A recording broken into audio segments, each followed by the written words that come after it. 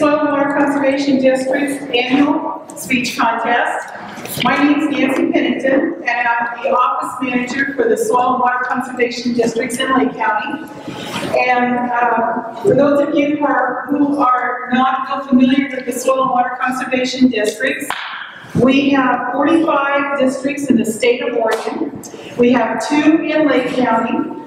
And um, we are not a government agency. Um, we are known as a local unit of government or a subdivision of the state. And we are uh, under the Oregon Department of Agriculture. And they provide funding for us to operate. Um, we provide technical assist assistance to landowners, and we work with federal and state agencies uh, for the purpose of managing and um, enhancing our natural resources. Uh, we also provide grant funds to landowners to do projects with, and we do education. And we believe in educating our young people about our natural resources. And uh, part of, that's part of the district's uh, mission. Um, we also provide workshops for our landowners uh, so that they can get an education about natural resources. We believe that it's important for our young people to learn about our natural resources, not just in the state, but in our county, what we have and, and what, they're, what they're here for and why they're important. Uh, one of the ways that we do that is by doing this annual speech contest. And uh, every year we get um, a theme from the National Association of Conservation Districts out of Washington, D.C. And so this year's theme is Local Heroes, Your Hardworking Pollinators. So the kids got to learn about pollinators this year, and they learned what they are and their habitat and why they're important and how to protect them. And we had uh, uh, Colleen Withers, who is a uh, rancher in Paisley, and she's also a teacher, and she's also the educator for the watershed coordinators here in Lake County, who we work with.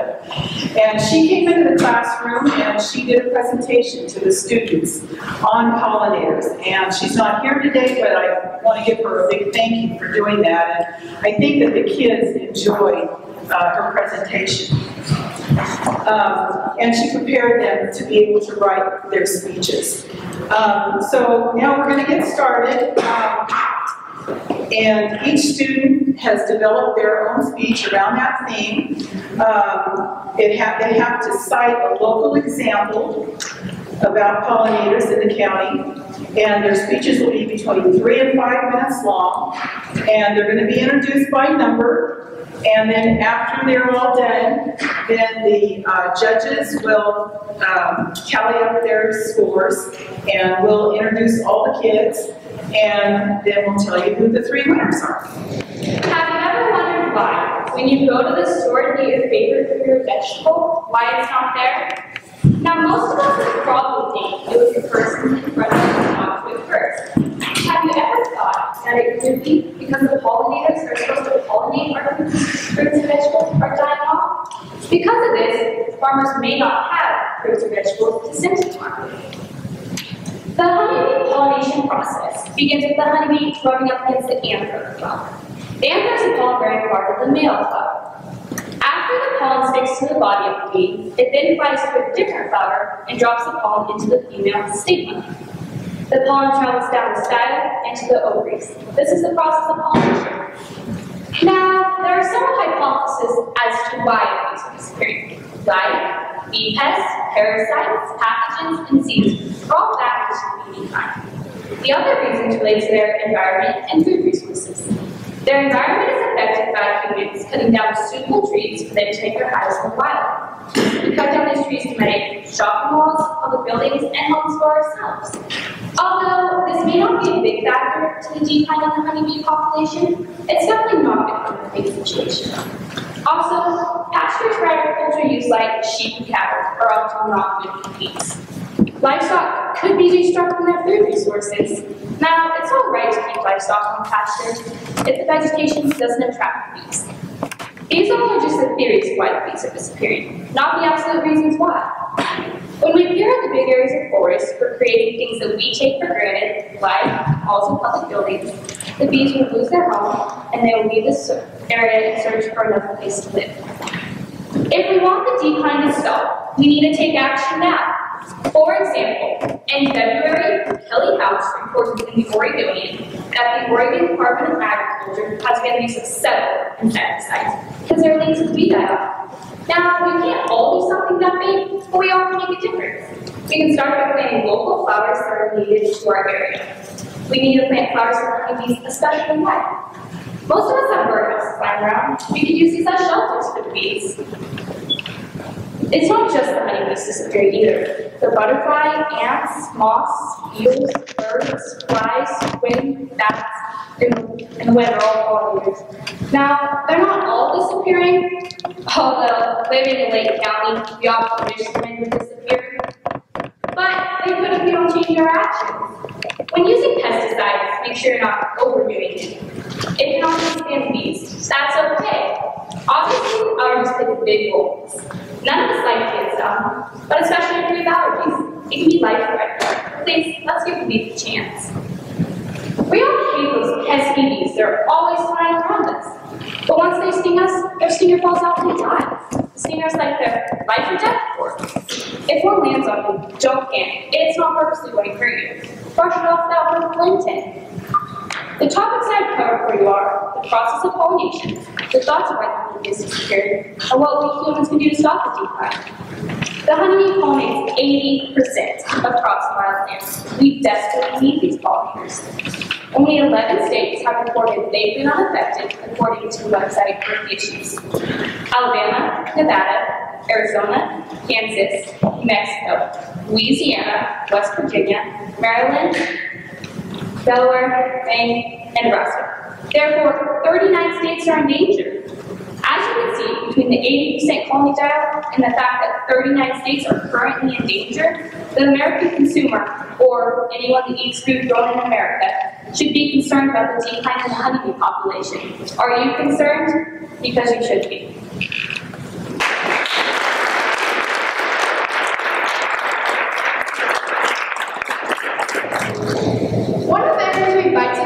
We take is because of pollinators. You might be saying, what are pollinators? My favorite type of pollinators are flying pollinators. We need them because they are important They help us out with a few different things, like our food, flowers, and they also help farmers out with their crops too. Bees and hummingbirds are two major flying pollinators. They help us pollinate flowers and crops so we can get our food. Bees are the master pollinators, as we call them. There are 20,000 species of bees worldwide. Just in Oregon, there are 51 species of bees. Most of Oregon's native bees don't live in hives. The bee's job is to go plant to plant, get the pollen off the anther, which is the male part of the flower, rub it off onto the stigma, which is the female part of the flower, so reproduction can start. They spend most of their life collecting pollen for plants and for their seed. Did you know that the queen bee of the hive only mates with males from different colonies? Flowers are the first step in making food. It starts off with a little sprout, then the flower starts to form, and out of that becomes our food. Pollinators pollinate 75% of all flowers worldwide. Some pollinators, like the bee, visit of food, mates, materials, and shelter. Daytime flowers are usually brightly colored and emit sweet perfumes. Some daytime pollinators are bees, hummingbirds, wasps, butterflies, sunbirds, and ants. Nighttime flowers bloom at night, which are usually paler in color give off a strong odor. Some nighttime pollinators are bats, moths, beetles, flies, and birds.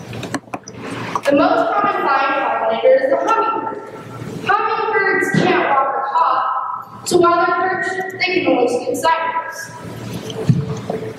Pollinators help in the process of making food. They help pollinate 600 fields of 41 crops, which include fruits, nuts, seeds, and coffee. Without their help with pollination, we, the world wouldn't have any apples, almonds, blueberries, cherries, avocados, and so much more different kinds of foods. We can help them get stronger by planting more flowers, by buying local organic foods from farmers, or not using chemicals and pesticides on lawns, and so much more.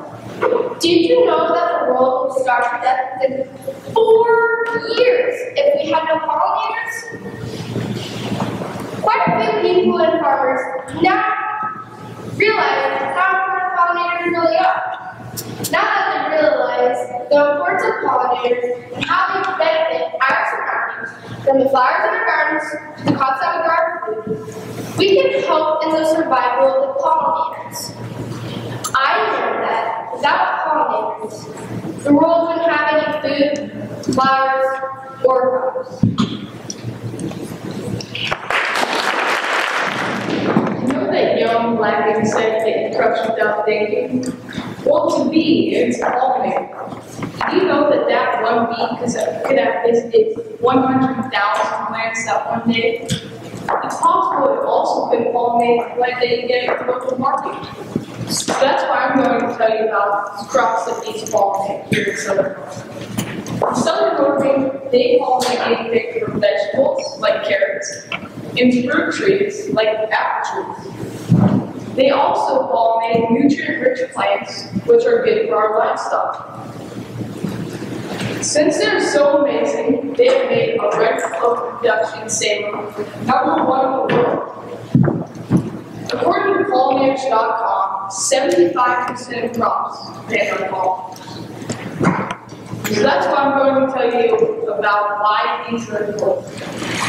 In southern Norway, they pollinate uh, close to 100 plants. Referenced by honeybeefacts.com, $29 billion in crops are pollinated. And that means if there's no pollinators, farmers will go out of business.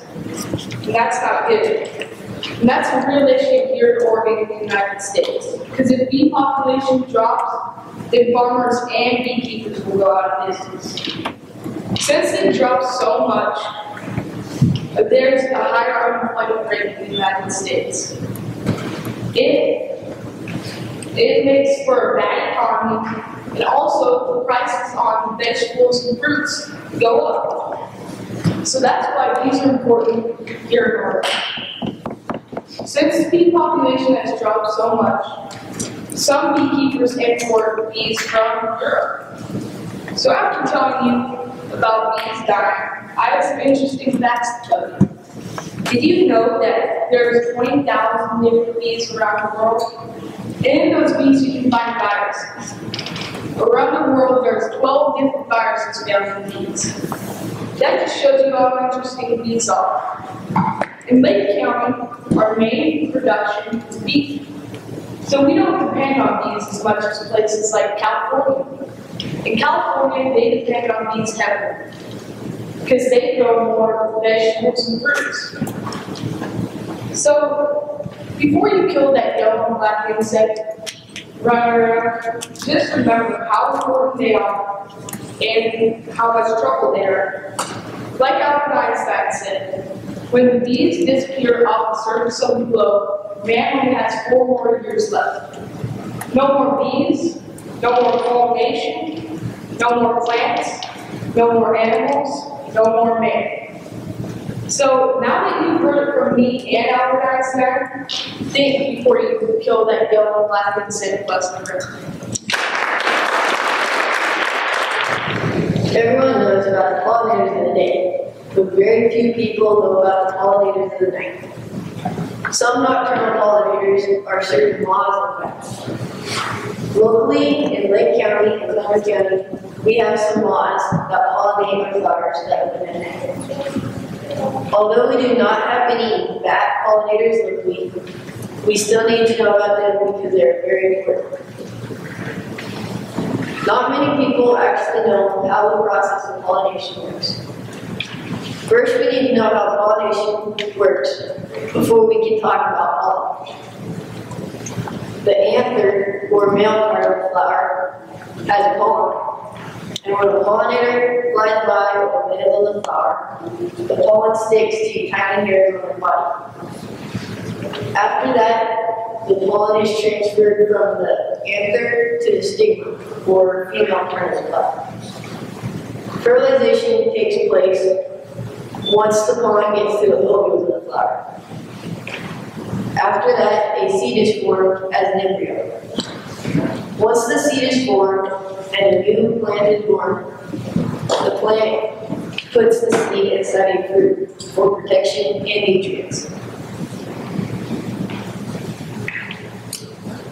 Once the fruit is made, a human or animal comes along, eats the fruit, drops the seed, the process you restarts. Everyone knows about bats, but very few people know that bats are pollinators because they come out at night. Bats are very important for tropical and desert climates. Also, bats pollinate over 300 species of fruit, including bananas, mangoes, and guava. The agave plant and saguaro plant depend on bats because they only open at night and while bats are out feeding and getting nectar. A common use for the agave plant is to make tequila. Bats typically visit flowers that are large in size, about one to three and a half inches big, very fragrant, are pale or white in color, and have copious dilute or very sweet nectar.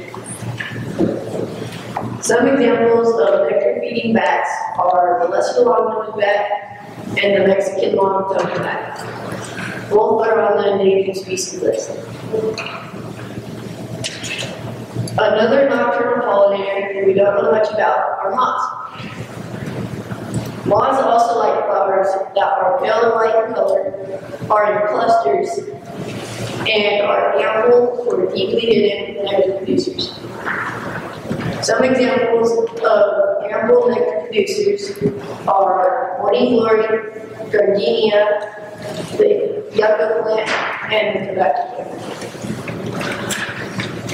One local species of moths we have in Lake County, in Salem County, is the moth.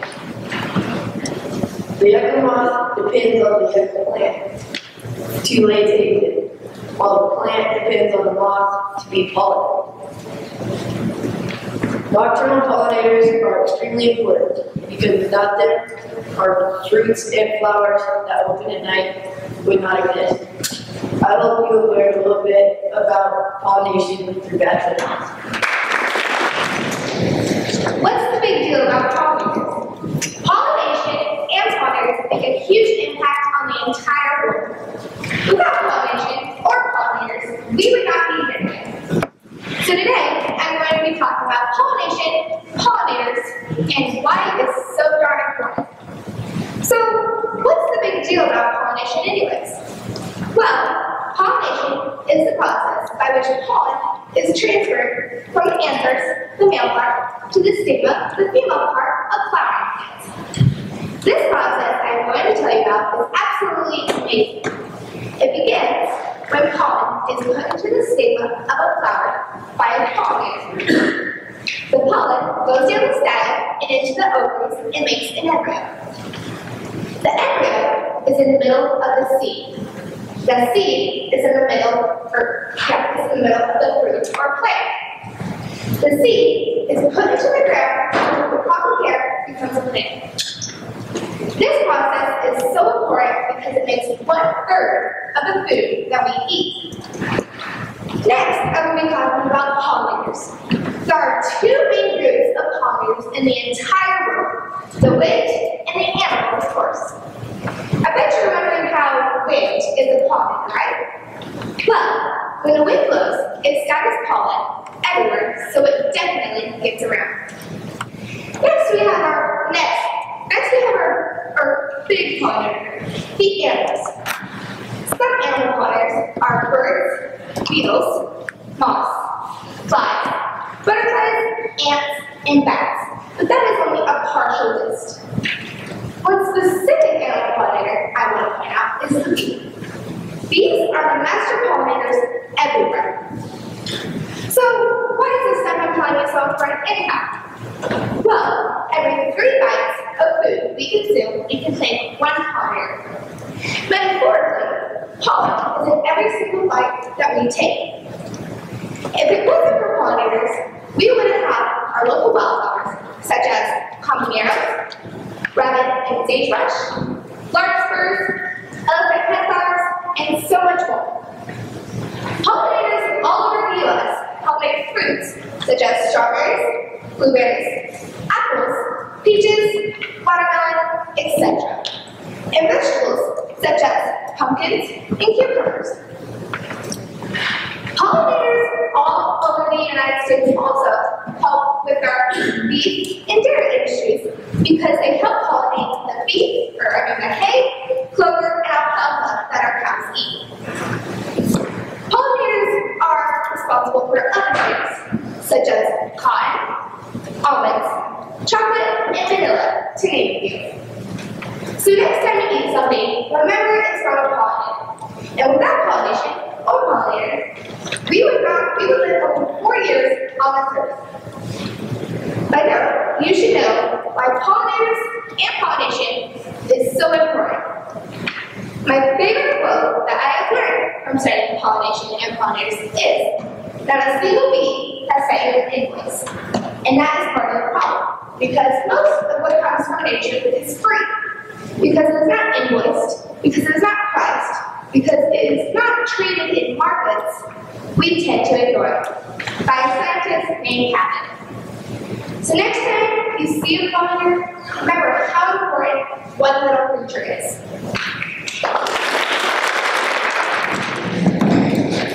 Albert Einstein once said that if bees were to disappear, then humans would die in four years. Why are bees disappear? Most importantly, are humans people living for? To understand these questions, it helps to know how. when bee disappearance first started, colony collapse disorder, and finally, what you and I help the bees. Bee disappearance started around mid to late 1900s. The first reports of bee disappearance were in France, after France to the United States. Over the past 10 years, honeybee disappearance started to become a major problem. According to the United States Department of Agriculture, the highest year for honeybee disappearance was in 2006, where an estimated 32% or 64 million of the United States honeybees were lost to CCD for colony collapse. Colony collapse disorder is when the honeybee hive feels completely gone. There will be numbers left dead on or around the hive. Queen bee would be one of the last bees to leave the hive. Unlike usual, the bee will be one of the first to leave the hive if the hive Kelly has an article near Goodman. Oregon banned use of bee-killing insecticides for many trees. These insecticides are banned because they're linked to seven major bee deaths in Oregon since June of 2003. With 50,000 bees dropped dead in Wilsonville County supermarket parking lot after workers sprayed insecticides in the bees as were swarming around. The vast majority of bee dives are not reported. That means, even though the insecticides are used correctly, there is still harm for bees. Some theories about diets cell phones, habitat loss, disease, radiation. In my personal opinion, are insecticides are the cause of diets. One way to help prevent the death of bees is to not kill them every time you see them. Don't go out and spray a beehive in your backyard with an insecticide to kill it. You can also go out and plant flower and vegetable gardens. If you do plant flower and vegetable gardens, make sure they are native to your region. Some native plants to consider are sunflowers, lavenders, and sagebrush. One other way is to buy fruits and vegetables from local farms. Bees are what they call the master pollinator. They call them this because they pollinate over 70% of American commercial crops. So if we got to the best, what would be the biggest fact? It's pretty simple. VDOT starts to become a major problem, we need to do our best to protect them. It is my goal that you understand when we disappearance first started, colony so and finally, what you and I did help police.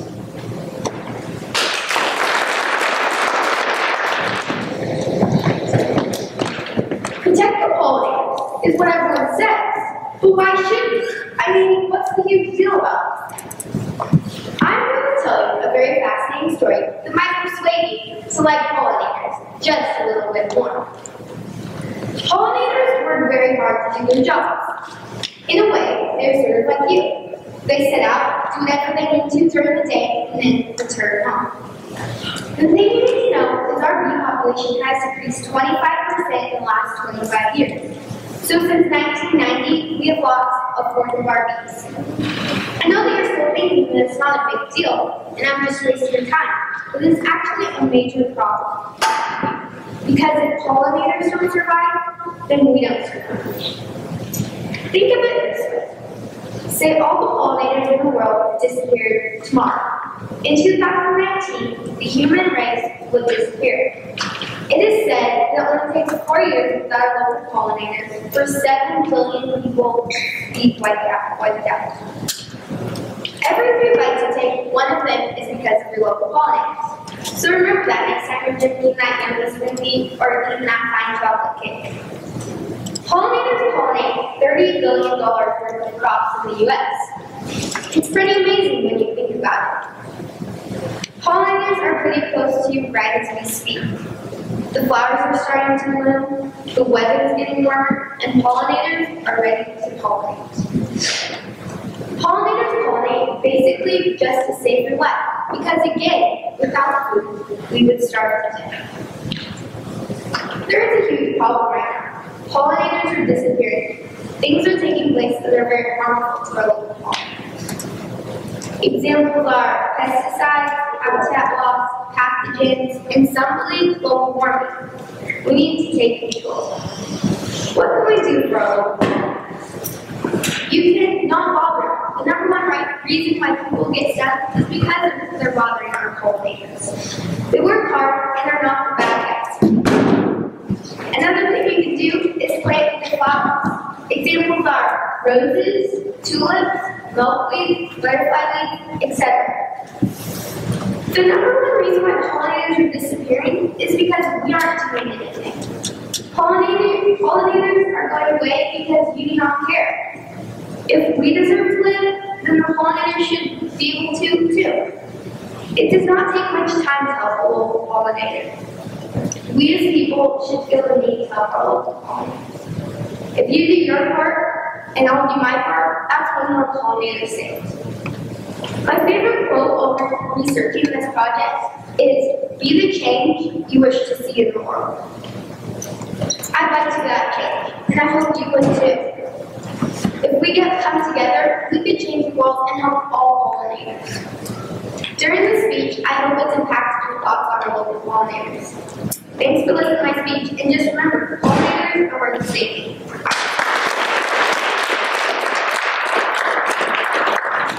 Would you take a second and imagine the world without pollinators? Because we would have the world, the human race, or any other species would cease to exist. Today I'm here to talk to you about the elite five pollinators of Lake County. The elite five pollinators from five to one are the wind, the hummingbirds, butterflies and moths, flies, and honeybees. On the countdown from five to one, we're going to say. Five is the wind. The wind is not a living being, so it won't disappear, like many other pollinators. The wind pollinates the plain Jane, or unspectacular flowers, trees, and grasses. People underestimate the power of the wind because it is not a living being. But the wind can send seeds and pollen for miles and miles. For number four, the hummingbird. The hummingbird is attracted to the beautiful and sweet smell of blossoming flowers all over the. Pe- But people don't understand that the hummingbirds are slowly going endangered. People don't take their hummingbird feeders down by the recommended time of September 1st. Let's say your hummingbird feeder empties in December. Then they'll start their late migration back to Mexico.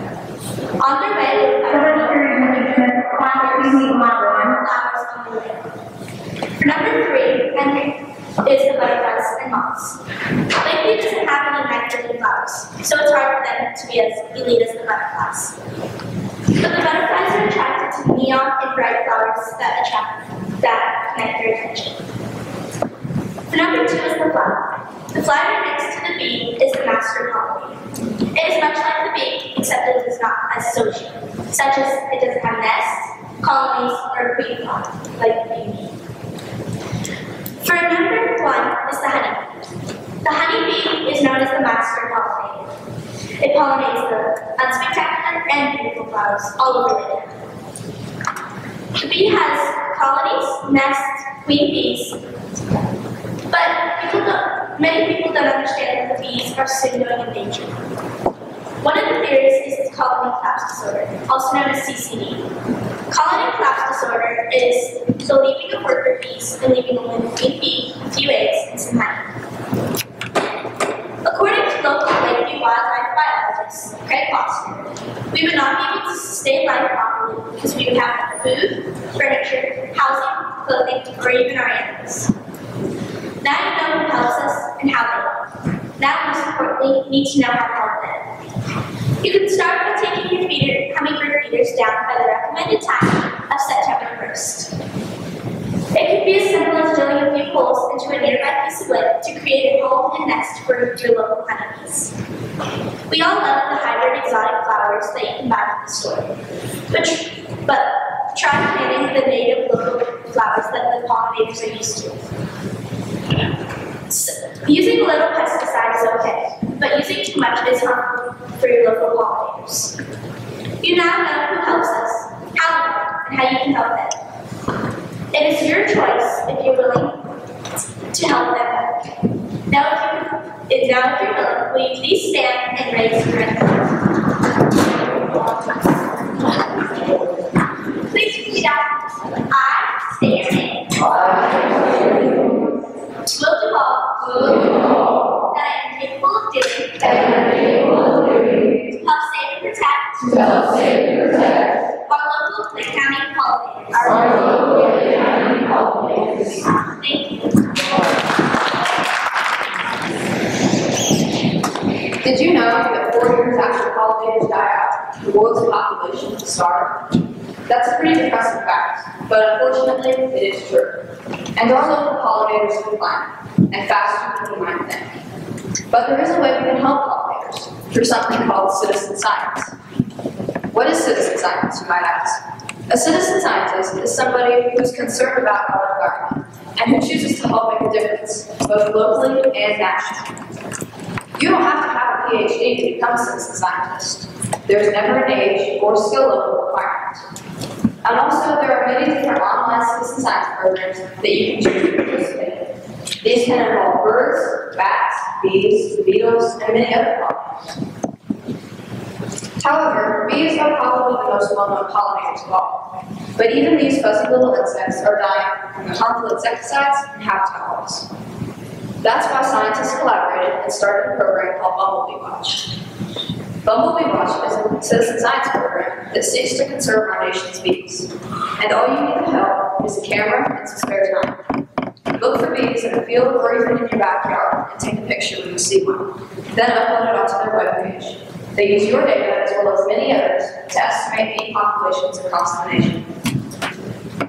There are also state-specific programs like Bumblebee Watch. Some of these are slaughter, which is specific to Illinois, and bumble boosters, which is specific to Nebraska. If you would like to participate in Bumblebee Watch, you can, here's a species that you can look out for, the western bumblebee, which is native to Lake and Klamath counties. Unfortunately, the species has been in severe decline, but scientists are unsure why. There are also programs that involve general pollinators. One of these is the Great Sunflower Project. They've been collecting data on pollinators since 2008. They study pollinator decline and how it affects our crops, gardens, and wildlands. All you need to help is to submit a five-minute plant watch. You can choose a flower plant in your backyard that you would like to watch for about five minutes and record the species and pollinators that come to it. Then submit all of this data to their website. There are also many other ways that you can help pollinators outside of citizen science programs. There are many simple actions that you all can take to help out your local pollinators. You can start by not using harmful insecticides. Instead, you can use simple homemade remedies like soap and water to clear out pests like aphids and not harm pollinators. You can also grow native plants in your garden, such as black-eyed Susans, cactus plants, and elderberries. These flowering plants will attract native pollinators to your backyards. You can even build bird, bat, and even bee boxes to put in your yards. This way, it will attract some native pollinators, such as the orchard mason bee, which is also native to Lake County. It's a great pollinator of fruit trees and gardens. You can also, you can build these boxes of simple paper tubes and mud, or simple pans of mud to help them build their nests. But most importantly of all, everyone here should spread the word. That way your neighborhood, and maybe even your whole town, can become pollinator friendly. With your aid, we can help bring our local pollinators back. According to Oregon's agriculture, over 75% of Lake County's crop is because of pollination. As you can see, we really need pollination. Some things that need pollination are livestock, agriculture, commercial crop, and home businesses. Surprisingly, we can help with pollination too. Everybody in Lake County likes a favorite barbecue. That juicy burger you all love is only here because of pollination. Pollination makes grass, cows eat grass, and we eat cows. The cycle goes on and on. We also use animals for work. Your show rabbit is only here because of pollination. We also have pets. One of the main ingredients in the local horticulture food is and wheat. Pollination begins when a pollinator comes up to a flower.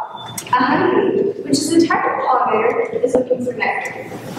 The pollen rubs off the anther, the male flower, onto the bee. The bee flies to another flower, and the pollen rubs off the bee onto the stigma, the female part. The pollen goes down the pistils into the ovules, then fertilization. And an embryo forms, and seed makes fruit to protect itself. In Lake County, we can grow raspberries, grapes, blueberries, blackberries, plums, pears, peaches, apricots, apples, and many more. According to Soil and Water Conservation, 99% of those fruits found in the seed is because of pollination. Pollination impacts over 35% of the world's crop. No matter how small Lake County is, we're still part of that crop story. Lake County is famous for its cow country and hay we grow. If you didn't already know, we can grow alfalfa, grass hay, oats and barley. You can only grow that with pollination. If more hay equals more money, the more pollination equals more hay, which equals more money. Pollination also helps with the production of oxygen. Pollination makes trees tree. We want to continue their daily tasks. If the environment unstable, pollination is released, and pollination will stop. Then all of Lakeview and all of Lake County will be like Goose Lake, dry. And every time the wind blows, the soil moves, and you can never grow anything there. Lake County will be a desert. There are multiple ways as we, as all of us as a community, can prevent that. First, don't use pesticides. Bugs are a small price to pay for the bounty of nature. Eat those pesky bugs who try to kill with pesticides, in all reality, we kill with bats. Second, find out where the bees live, and keep your livestock and pets around the colonies. Also, plant native. Those pretty little caterpillars may smell good and look nice, but they left out nectar, which is what bees are looking for. Another way is to to local farmers market support pollinators with organic foods. Finally, plant different types of plants. Pollinators have food all year round. In conclusion, I believe that it's important to have pollination in Lake County. I prove that to using livestock, agriculture, commercial crop, and home businesses. Now you know how to keep pollination going. We need pollination to survive.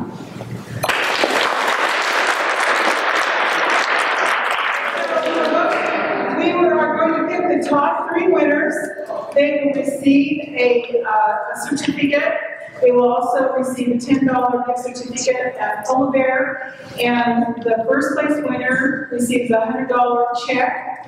The second place seventy-five and the third place fifty. I do not have checks here today. We have a gift certificate for that and I will mail them or bring them over to the class and give them out. So, the third place winner is Brianna Leonard.